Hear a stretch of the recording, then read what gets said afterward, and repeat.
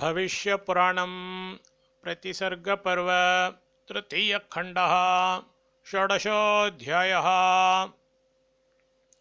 कृष्णांशस्य सप्तदशाब्दवयसि बलखाणि विवाहवृत्तान्तवर्णनं तत्र बलखाणि सङ्कटतन्मोचनवृत्तान्तवर्णनम् सुतोवाच प्राप्ते सप्तदशाब्दे च कृष्णांशे तत्र चाभवत् शृणुत्वं मुनिशार्दूल दृष्टं यद्योगदर्शनात्। रत्नभानो मृतेराज्ञी मरुधन्वमहीपतिः गजसेनस्तदा विप्र पृथ्वीराजभयातुरः आराध्य पावकं देवं यज्ञध्यानव्रतार्चनैः द्वादशाब्दं सदाचारः प्रेमभक्त्या ह्यतोषयत्। तदा प्रसन्नो भगवान् पावकीयं हयं शुभम् ददौ तस्मै सुतौ चोभौ कन्यां च गजमुक्तिकां पावकास्ते हि चत्वारः समुद्भूता महीतले। अग्निवर्णा महावीराः सर्वलक्षणलक्षिताः। अष्टादश वयोभूताः सर्वे ते मुनिपुङ्गव जातमात्रा देवसमाः सर्वविद्याविशारदाः अष्टादशाब्दवयसा सा कन्या वरवर्णिनी दुर्गायाश्च वरं प्राप्ता धर्मांश्च त्वां वरिष्यति। दुर्गायाश्च वरं प्राप्ता धर्मांशस्त्वां वरिष्यति। शार्दूलवंशे सनृपः, कृतवान् वै स्वयंवरम्। नानादेश्या नृपा प्राप्ताः सुतायारोपमोहिताः मार्गशीर्षे सिते पक्षे चाष्टम्यां चन्द्रवासरे। तस्य स्वयंवरश्चासीत्। सा नृपान् प्रतिचाययो। विद्युद्वर्णं मुखं तस्यांश्चञ्चलायास्तथा गतम् दृष्ट्वा मुमोहधर्मांश बलखाणिर्महीपतिः सापि दृष्ट्वा च तं वीरं मुमोहगजमुक्तिका बुद्ध्वा तस्मै ददौ मालां वैजयन्ते शुभानना तारकाद्याश्च भूपालाः सर्वशस्त्रास्त्रसंयुताः। रुरोधो सर्वतो वीरं ते बलात् कन्यकार्तिनः। तथा विधान् नृपान् दृष्ट्वा भूपान् पञ्चशतान् बलीं सशीघ्रं खङ्गमुत्सृज्य शतभूपशिरांस्यहन् सर्वतो वध्यमानं तं बलखाणिं स तारकः। तद्भुजाभ्यां ददौ खड्गं स तदङ्गे द्विधाभवत् महीराजसुतो ज्येष्ठो दृष्ट्वा खड्गं तथा गतम् अपोवाहरणाचोरस्तत्पश्चात्ते नृपाययुः पराजिते नृपबले बलकाणिर्महाबलः तां कन्यां शिबिकारूढां स्वगेहं सोनयद्बलीं तां गच्छन्तीं सुतां दृष्ट्वा गजसेनो महीपतिः महीपत्याज्ञया प्राप्तो ज्ञात्वा तं क्षत्रियाधमम्। जम्बुकघ्नं महावीरं मायया तममोहयत्। जाते निद्रात्वरे वीरे दुर्गाया शापमोहिते। निगडैस्तम्बबन्धाशो दृढैर्लोहमयैरुषा लोहदुर्गं च सम्प्राप्य ग्रामरूपं महीपतिः। चाण्डालांश्च समाहूय कठिनांस्तत्र वासिनः। वधायाज्ञापयामास तस्य दण्डैरनेकशः ते रौद्रास्तं समाबध्य ताडयामासुरोज्झिताः तत्ताडनात्तदा निद्रा तत्रैव विलयं गता दृष्ट्वा ततस्तु चण्डालान् बलखाणेरताडयत् तलमुष्टिप्रहारेण चाण्डालामरणं गताः मृते पञ्चशते रौद्रे तच्चेषा दुद्रुवुर्भयात् कपाटं सुदृढं कृत्वा नृपान्तिकमुपाययुः। सनृपकारणं ज्ञात्वा हस्तबद्धो महाबली उवाच तत्र गत्वासौ वचनं कार्यतत्परः। भवान् महाबलो वीर चाण्डालैर्बन्धनं गतः।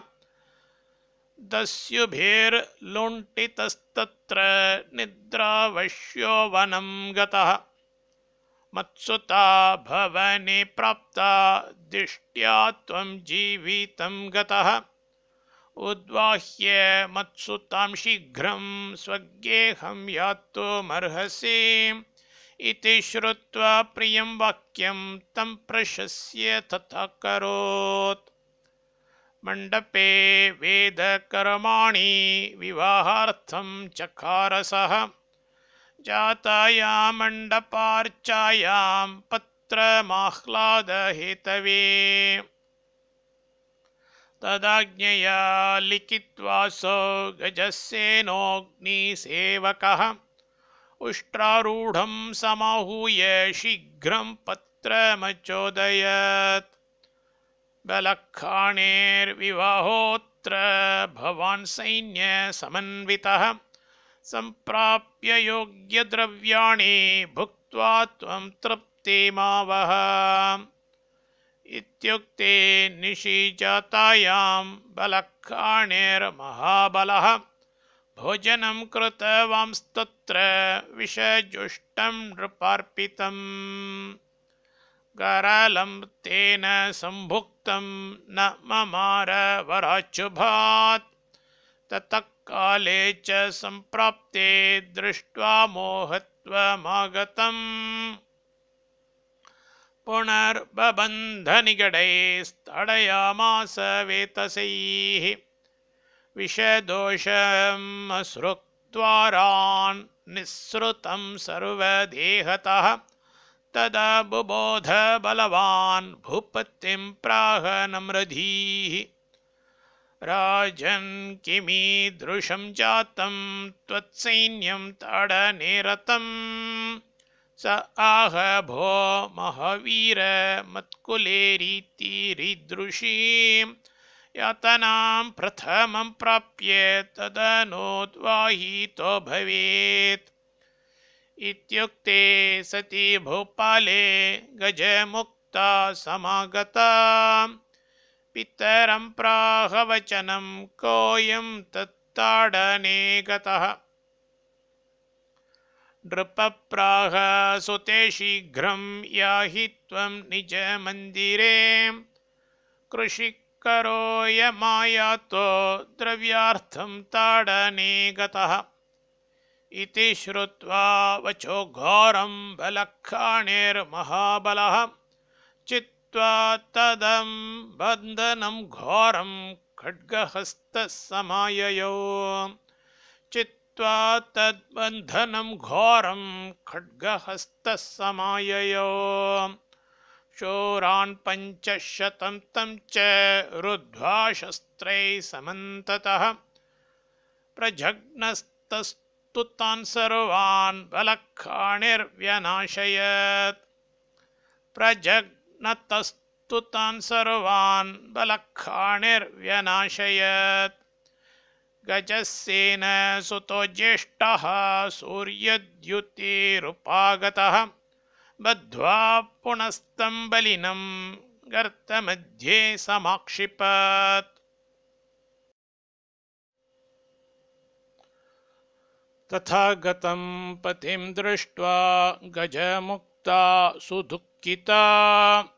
निशितत्र गता देवी दत्त्वा द्रव्यं तु रक्षकान्।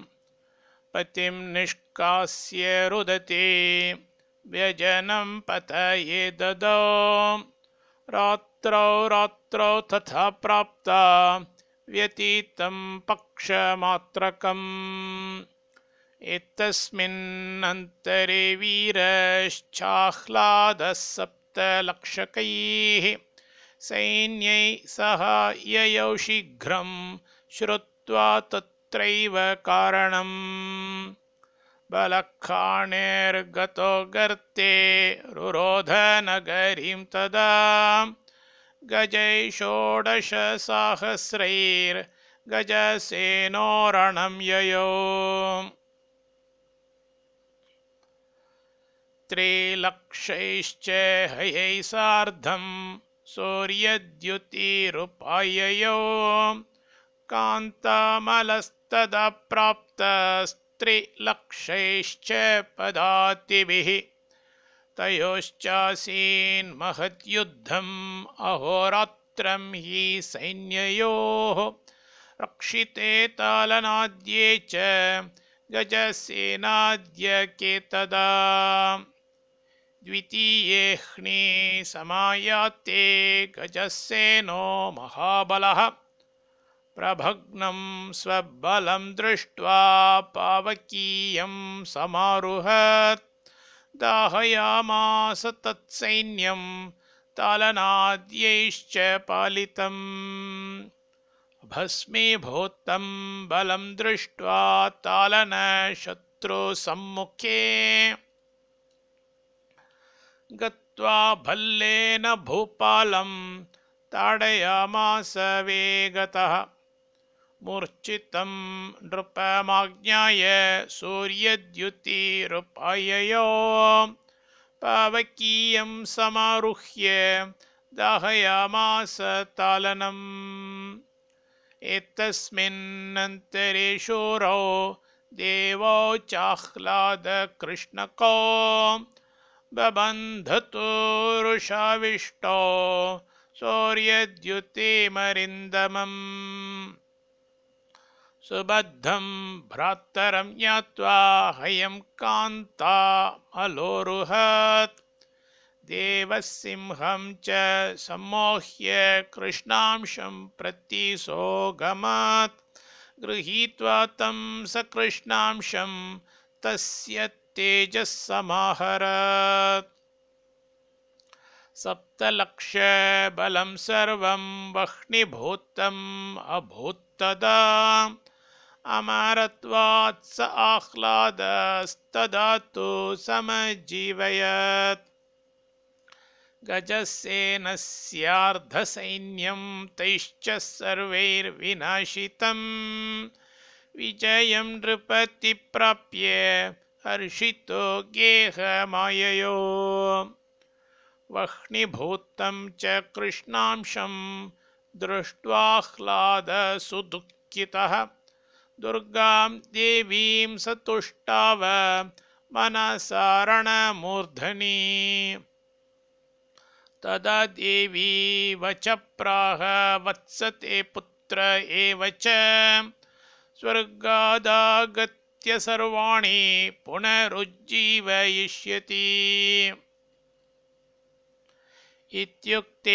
वचने देव्याम् इन्दुलो वासवाज्ञया द्वादशाब्दसमं रूपं धृत्वा विद्याविशारदः वडवामृतमारुह्य अयं तत्र समागतः। तदङ्गादुद्धृतवाहा मेघा इव समन्ततः। पावकं शमयमासोस्त्रयस्ते देवतोपमाः। शमीभूते तदा वह्नौ स्वमुखात् सह यो मुदा। लालामुद्वाहयामास तया ते जीवितस्ततः। जीविते सप्तलक्षे तु शमीभूते हि पावके। गजस्येन सुताभ्यां च प्रयातः सर्वतो दिशम् लक्ष्यं सैन्यं तु एषेष्टास्ते सर्वेऽपि भयातुराः दुद्रुवर्भार्गवश्रेष्ठ दिव्यरूपत्वधारिणः केचित् सन्न्यासिनो भूत्वा केचित् वै ब्रह्मचारिणः जीवत्वं प्राप्तवन्तस्ते तथान्ये संशयं गताः। बद्ध्वा तान् गजसेनादीन् स्त्रीन् शूरान् स च तालनः कृष्णांशेन समायुक्त इन्द्रदुर्गं समाययौ। बलखाणिं च निष्कास्य तालनस्तदनन्तरम् पृष्टवान् कारणं सर्वं श्रुत्वा तन्मुखतो वचः। पृष्टवान् कारणं सर्वं। श्रुत्वा तन्मुखतो वचः। तान् वीरान् ताडयामास वेतसे स्तम्भबन्धनैः। गजमुक्ताज्ञया विप्र सेनापतरिरुदारधीः तालनस्तान् समुत्सृज्य विवाहार्थं समाययौ। बलखाणिर्हयारूढो गजमुक्ता च मण्डपे। गजस्येनस्तदा दिव्यैर्भोजनैस्तानभोजयत् निवास्य लोहदुर्गे तान् कपाटसुदृढीकृतः लक्षशूरान् स संस्थाप्य स्वयं रुद्रपुरं ययो ते रात्रौ लोहदुर्गेषु ह्युषित्वा यत्नतो बलात् प्रभाते च कपाटेन द्वारं दृष्ट्वा तदब्रवीत्। द्वारमुद्घाटयाशु त्वं नो चेत् प्राणां त्यजिष्यसि इति सेनापति श्रुत्वा लक्षशूरान् समादिशत्। नानायत्नैश्च हन्तव्याः शत्रवो भयकारिणः। इति श्रुत्वा तु ते शूराः शतज्ञस्तै सुरोपिताः। एकैकं क्रमशो जघ्नोर्वृन्दं ते वैरतत्पराः हते दशसहस्रे तु कृष्णांशो बिन्दुलंहयम् समारुह्य जघनाशु स्वखड्गेन महद्बलम्। हतशेषा भयार्तश्च सहयाशीति संमिताः। हतशेषा भयार्ताश्च सहयाशीति संमिताः इन्द्रदुर्गं प्रति प्राहुर्यथा जातो बलक्षयः। श्रुत्वा भयातुरो राजा स्वसुताभ्यां समन्वितः। गजमुक्तां पुरस्कृत्य बहुद्रव्यसमन्वितां स्वपापं क्षालयामास दत्त्वा कन्यां विधानतः। षोडशोष्ट्राणि स्वर्णाणि गृहीत्वाह्लाद एव सः। ययौ स्वगेहं सहितः पुत्रभ्रातृः समन्वितः। सम्प्राप्ते गेहमाह्लादे देवी स्वर्णवती स्वयम्।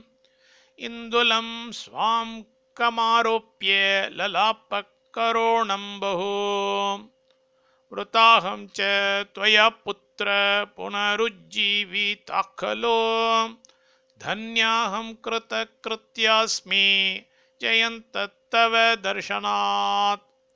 इति श्रुत्वेन्दुलो वीरो नत्वाह जननी मुदा।